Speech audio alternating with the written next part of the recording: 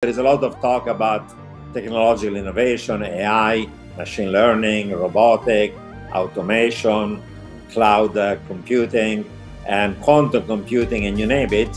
But we don't see it yet in the aggregate productivity number. Productivity growth in the US has been barely 1%, slightly lower. Uh, will in 10 years, are we going to see a significant increase in productivity? I'm quite uh, optimistic.